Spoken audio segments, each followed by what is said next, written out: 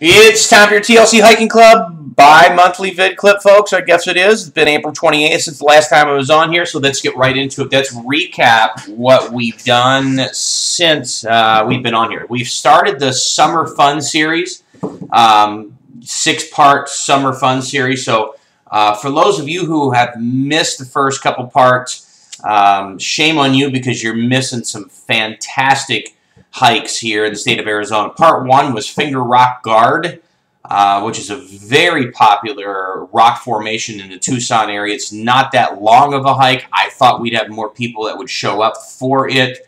But anyhow, people are people, so why should it be that you should RSVP for the hike and then cancel in the last minute? Maybe we should make that a song. Anyhow, moving right into it. Part two um, was the Hell's Gate Wilderness Hike. So, what a fantastic place that ended up being uh, at the confluence of Haigler Creek and Tonto Creek in the Hell's Gate Wilderness area, which is on the Mogollon Rim east of Payson.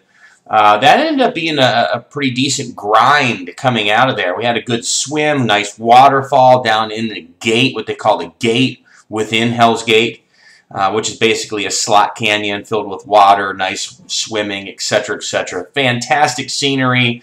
Uh, great group of people that went that day. We had a decent show up uh, showing.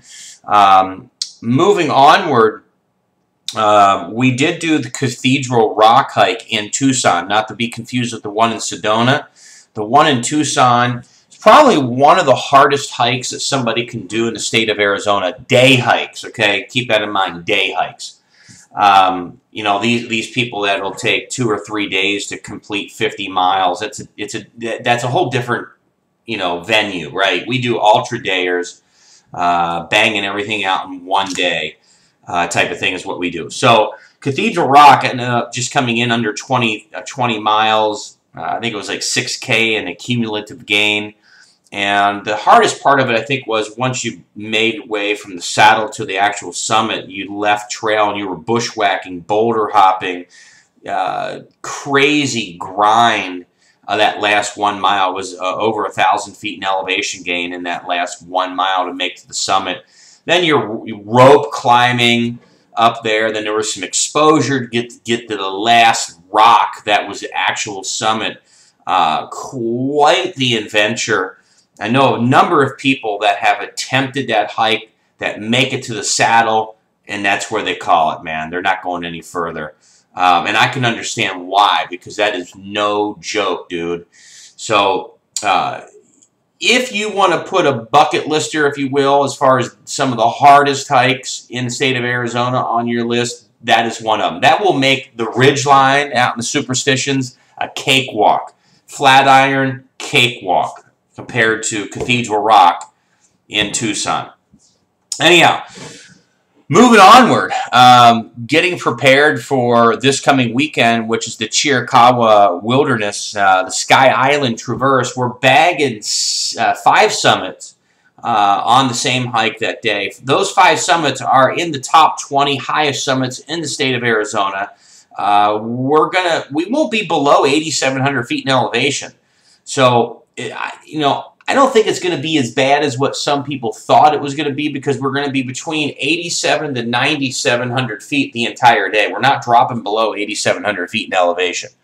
Um, I still think we're probably going to put on some some decent accumulative gain for the entire day, probably about 22 miles in mileage uh, for that entire day. But we're going to be in cool temps, bear country. Um, so can't wait to have that uh, take place this weekend. The next part of the Summer Fun Series, part four of six, is Ash Creek Falls, Webb Peak. Now this weekend, guys, uh, I look, I wouldn't miss it if I were you. There's only 18 people signed up at this point, but look here, check this out. Ash Creek Falls. Google it. If you've never heard of Google it, okay? This is one of those waterfalls in the state of Arizona that is underestimated. Why? Is because nobody goes out here to this area. It's a little bit of an infrastructure issue, three, three and a half uh, hours of driving. But that's why we're staying in Safford. Some people are camping. Some people are getting a hotel room. Uh, either way, uh, Ash Creek Falls. phenomenal. And if there's anything that you guys know, should know about me, I know where the water holes and the swimming holes, the cliff jumps, and the waterfalls are in this state. I know where they are, can find them. You will not be disappointed if you, excuse me, if you come on this hike this that weekend, which is in July the 17th, uh, that, that weekend. Uh, we're to bang out Ash Creek Falls, but we're also doing Webb Peak, Helio Peak, and Clark Peak, which is another three peaks on the top 20 peaks in the state of Arizona. We're going to bag, bang them out. Uh, Webb, uh, Webb Peak, Helio Peak, and Clark Peak, they're all small hikes, like little four milers, five milers at the most type of thing. So it's not that bad. Um, more, a lot of people can do these things. Uh, or that particular weekend, I should say, because they're not long hikes. They're not grueling 25 milers with 8K in elevation that I'm gonna, you know, I'm gonna grind you out. So, uh, you know, with that being said, there's the phone going off. Uh, anyhow, so I encourage you to, you know, come out for that weekend. You you won't be disappointed.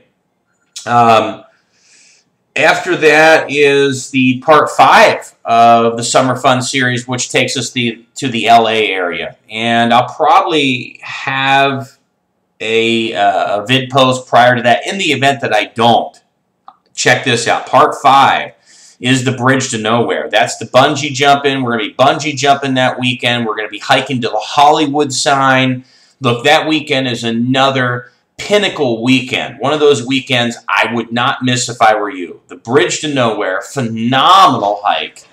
Uh, Google it if you've never heard about it, or click on the links that are on the site and learn more about it from there. Uh, but we're going to be bungee jumping. That's optional, obviously. Uh, hiking to that Hollywood sign, the famous Hollywood sign. So that's going to be part five of six of the Summer Fun series look, man, don't miss these these hikes. You know, the, especially the summer fun series. I encourage you all to get out there um, and do yourself some justice. Don't underestimate yourself. Okay, some of some folks have, have recently started doing that, underestimating their abilities. In my opinion, because I know that you've done some pretty strenuous hikes with us before. And if you hiked with us before, you know that there's always a, uh, a plethora of different pace groups, right? we don't expect you to be in the alpha lead pace group.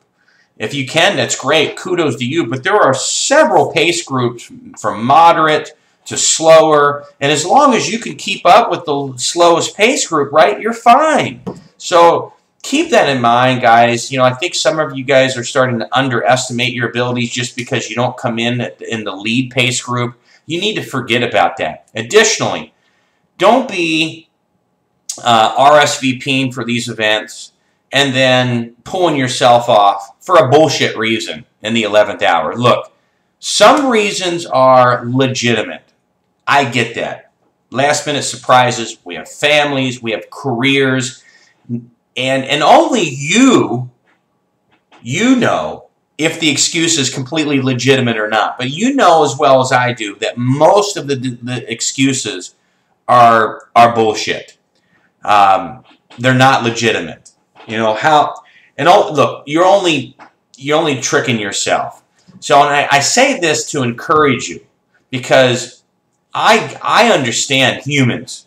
They will if you, you'll find a way to, to talk yourself out of something if you don't want to go. You'll you will make that excuse a justifiable reason. And if you were to put that out to your peers, and ask your peer ask your peers for an honest to goodness feedback. Do you think that's a legitimate reason? Most of the times they're going to say, "No, dude, that's that's not a legitimate reason. That's bullshit. Get your ass out of bed, get in the car. I know it's early and make the hike, okay? Cuz you won't be disappointed afterwards. You you know that. So, just trying to speak a little bit of encouragement into you on uh, more of a truthful and not a pampering type of sensitivity uh, type of forum, a um, little bit more in your face. Look, enough of the excuses. You know, push yourself through it, persevere, get out there, and just do it, like Nike says. Peace. see you.